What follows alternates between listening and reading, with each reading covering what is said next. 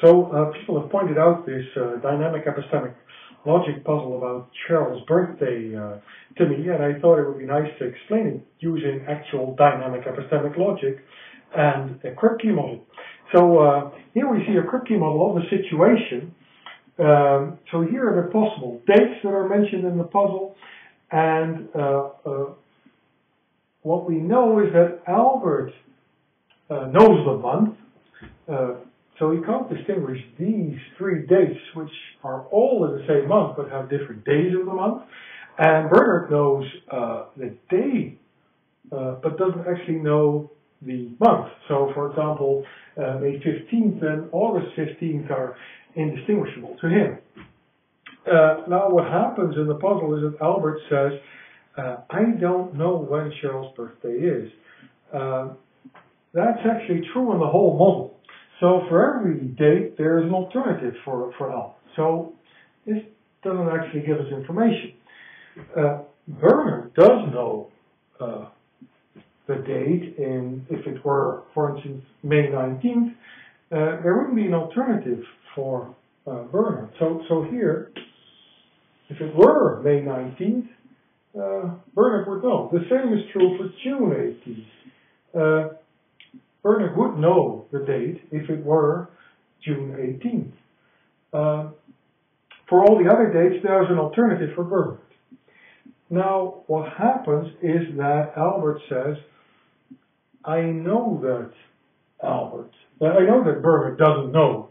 So, actually, it can't be May, because in May, Albert would consider it possible that Bernard would know. Also, can't be June, because if it were June, then uh, Albert would consider it possible that Bernard knew. So by saying that uh, he knows that Albert doesn't know, that means that actually May and June were excluded. So uh, let's update the model.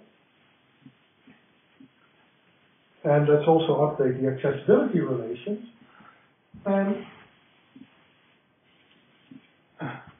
and we see that there are only actually uh, now uh, five possible dates remaining.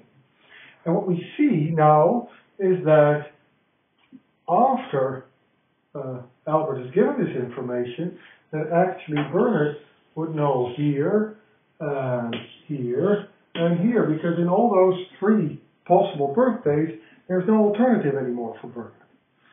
So uh, what Bernard then says is, at, that at first he also didn't know when Cheryl's birthday was, but of course we already knew that because that's what Albert said.